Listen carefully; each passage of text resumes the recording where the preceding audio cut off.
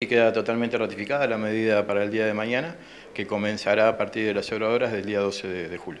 ¿Cuáles son los motivos, recordanos? Y los motivos son de que en el día de hoy culminó eh, la conciliación voluntaria por ambas partes, que fue un consenso de parte de los dos para tener paz social y mientras tanto tratar de destrabar lo que era la, la paritaria a nivel nacional para todo el interior del país.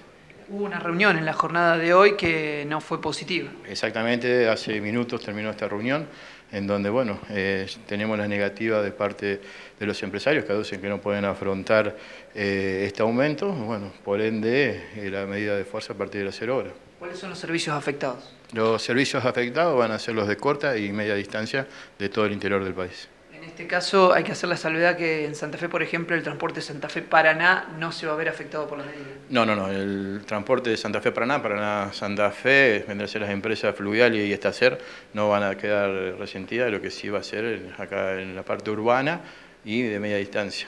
¿Cuál es el reclamo que están haciendo desde el gremio en cuanto a la paritaria? Eh, nosotros estamos haciendo un reclamo que sería tener lo mismo que ha sacado eh, ambas, que es el sector que comprende Capital y Gran Buenos Aires, que fue de un 20%, más una suma no remunerativa de 16 mil pesos a pagarse en tres cuotas. ¿Cuáles son los pasos a seguir de cara a esta situación, a la reunión de hoy?